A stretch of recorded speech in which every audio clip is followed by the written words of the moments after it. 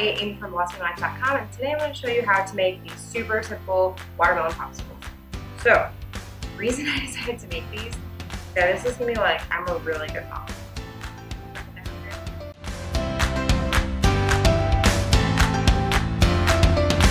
little backstory to these popsicles.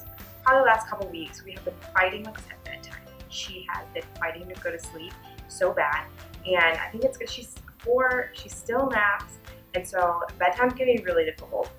She calls us a million times in the room, she's thirsty, she's hungry, she's in the bathroom.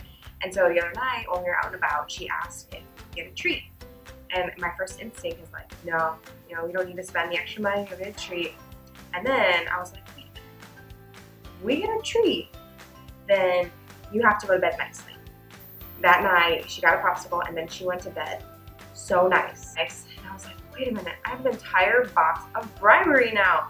And so the next day, same thing, gave her a popsicle and she went to bed nicely. Probably not the best parenting advice, but it worked and I was, you know, at the brink of going insane of hearing, Mom, or I'm a starving Marvin. Yes, Literally, she's repeating that to herself over and over and over again. Can make anybody go crazy. So then when those popsicles ran out, I decided to make some watermelon popsicles. I had watermelon sitting in our pantry for a couple weeks that I got forgetting to cut, and so I made decided to make these watermelon popsicles. You're going to need so watermelon honey, lemon juice or lime juice, and then popsicle molds. So it fills six popsicle molds. I currently only have five because of my dogs ate so, and then you either can have the lids to these. Um, these ones came with the thing, and I will link in the description below. I'll link um, where I got these from. But they have like a little lid to them. But I'm going to use popsicle sticks. Okay, so what you need is four cups of watermelon, and I just chopped this up pretty well. And this doesn't have to be exact.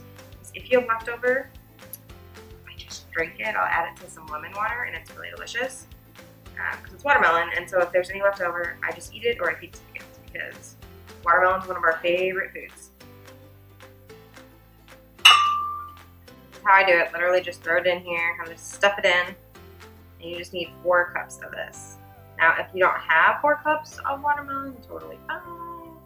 You could even add, like, take, say you only have three and a half cups of watermelon, you could add some, like, strawberries in it instead, maybe even some blueberries for the other half a cup. You can kind of play around with this recipe.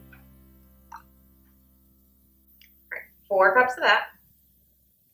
Ooh, there's a seed in there. Um, I would definitely recommend using seedless watermelon, which I do use. Darn it, there's leftovers. Great, I'm gonna add to this one tablespoon of lemon juice. You can also use lime juice, which would be really delicious, but this is what I have on hand. So, I'd actually prefer the lime juice, Ooh. but this is what I got.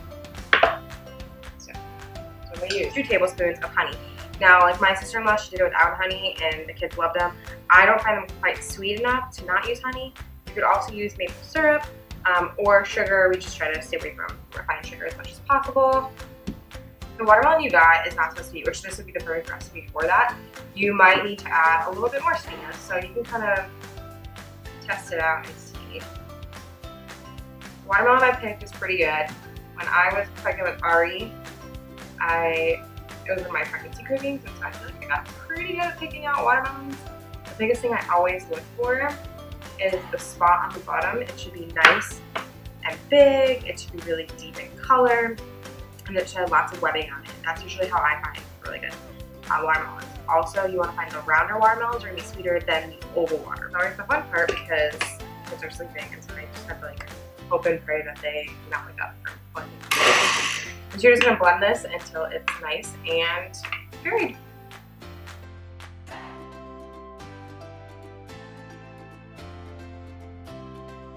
Okay. Now I'm gonna just pour these into my molds.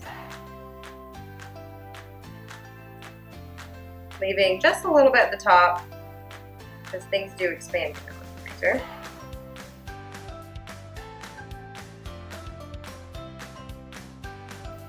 when you really wish you had that sixth thing.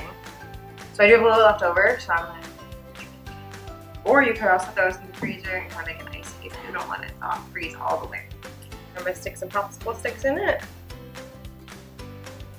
And because of the texture of the watermelon, they kind of stand pretty well.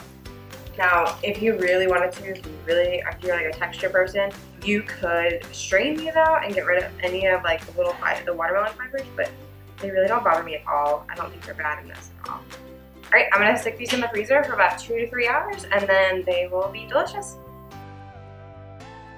For storage purposes, what I like to do is I like to freeze them and then you can either, if you aren't planning on making popsicles anytime soon, you can just leave them in the popsicle molds until you're ready to eat them and just run them under warm water for just a few seconds just to get them loose enough to come out.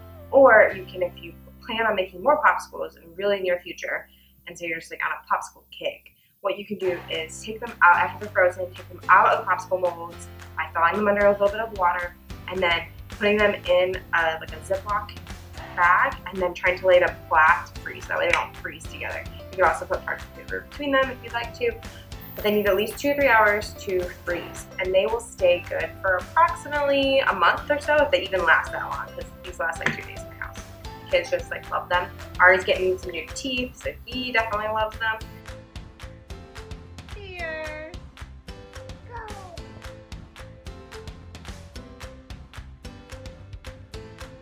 So much for stopping by a Blossoming Life YouTube channel. I share one new recipe, DIY project, or natural product every week.